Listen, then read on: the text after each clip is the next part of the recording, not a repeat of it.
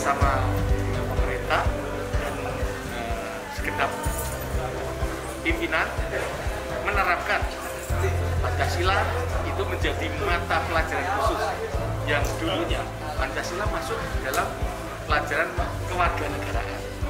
Dengan berubahnya merubah peraturan perundangan maka Pancasila khusus untuk pelajaran wajib di tiap tiap tiap PAUD SD dan perguruan tinggi.